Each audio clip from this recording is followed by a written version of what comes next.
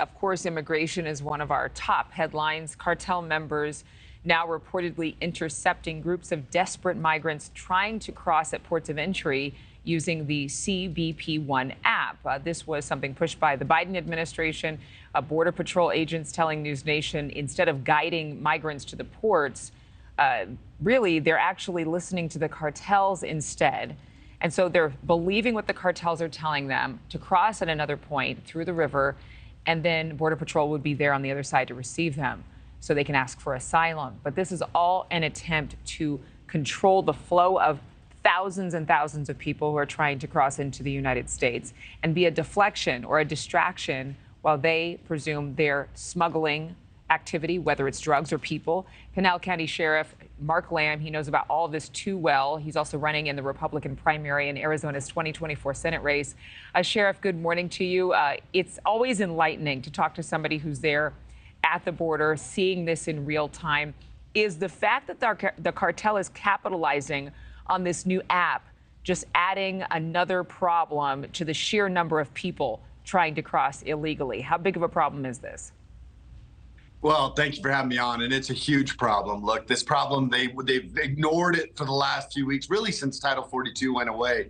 Uh, the the government has been really trying to ignore this problem, yet it hasn't gone away. It's continued to be just as bad as it's always been uh, over the last two years, and the cartels are taking advantage of people. I've been telling people for a long time, this is not about immigration. This is about human trafficking and drug trafficking into America, and the cartels are going to make sure that they get their money no matter what. And if that involves using the CBP app to do it, that's what they'll do. They're taking advantage of these people that are trying to come here to America to make a better life. They're not doing it the right way. The cartels are encouraging them to do it the wrong way. This administration is encouraging them to do it the wrong way. Um, we've got a lot of things we've got to fix, but the problem has definitely not gone away. Many are pointing to the numbers. You mentioned Title 42 and the fact that, you know, perhaps this was a victory for the Biden administration. The number of the thousands of people trying to cross illegally has gone down since May when the expiration of Title 42 happened. But when I look at what's happening with the cartel being able to somehow capitalize on this app and the fact that they know now where people are going to try to cross and try to divert traffic, do we not have a clear picture of how many people are indeed coming into this country? No, we don't have a clear picture. And the CBP One app is one of those tools they use to make it unclear for the American people so that the American people don't understand just how bad this problem is. The numbers are still up over 200,000. And frankly, the numbers always go down in June and July and August because these are the hottest months of the year. So they're taking advantage of that as well. The reality is, this is still a major problem. We still have pursuits almost every day.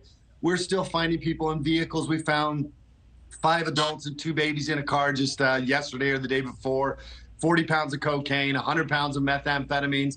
This is continuing, and I'm not even right on the border. So, yes, this is still a major problem, and the cartels are taking advantage of us. You're running under the GOP ticket for Senate uh, there in Arizona.